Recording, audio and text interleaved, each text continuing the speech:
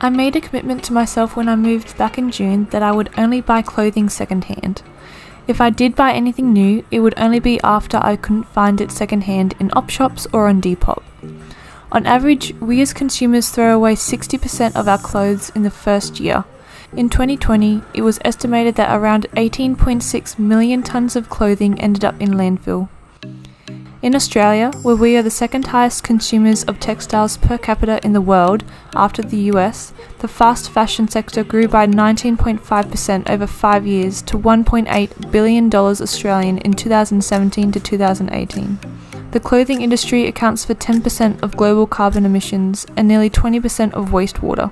The global fashion industry is generating a lot of greenhouse gases due to the energy used during its production, manufacturing, and transportation of the million garments purchased each year.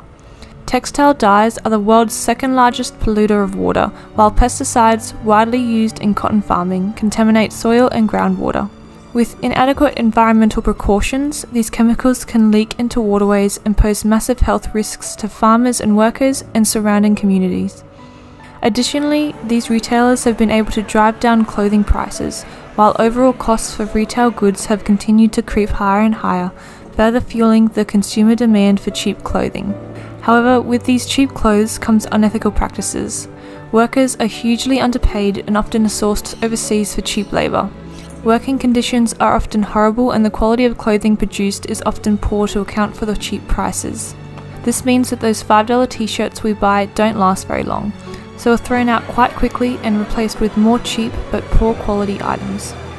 Each Australian consumes an average of 27 kilos of new clothing per year and disposes an average of 23 kilos of clothing to landfill each year. In Australia alone, more than 500,000 tonnes of textiles and leather ended up in landfill every year. Low cost, low quality garments means that we're buying and disposing of more clothing than ever. 70% of all our clothing is made from plastic, and 70% of plastic microfibers that end up in the ocean are coming from clothing. This is one of the main drivers as to why I started and continue to op shop first.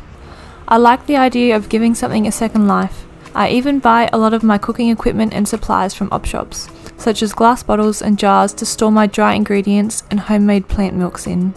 Plus, op shopping saves me a ton of money, and I often find really good brands for a really cheap price. This past year alone, I've bought secondhand I Love Billy sneakers for $8 Australian that would usually cost around $80 new. A denim jacket for $6 Australian that, when bought in store or online, are priced anywhere between 60 to $110 new. Even on Depop, they go from anywhere between 15 to $30 secondhand.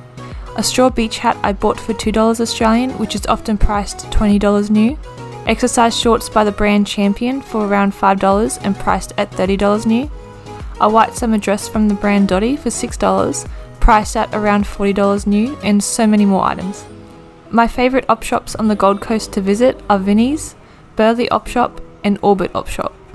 Op shopping can be more limiting in the items of clothing available as well as the sizing, and can take a few goes to find the specific items you're looking for. This is because you can only pick from what they have in stock at the time, so it can be quite limiting. When this happens, I look on Depop as you can type in exactly what you're looking for and find a wider range of items to choose from. However, I'm someone who doesn't mind browsing through the op shops on my way somewhere, and sometimes I'll stumble across a really great item this way. Overall, I try to live as minimalistic as possible, and only buy items I really need to prevent me throwing out more later on once my clothing has worn out. Once my clothing has reached the end of its life, I try and donate as much as I can that can actually be worn again, but the items that aren't salvageable, I either look for recycling programs for particular items, like joggers, flip flops, and things like that. But unfortunately, for most of our clothing, we don't actually have any programs put in place to recycle these old items. So, most end up being thrown away.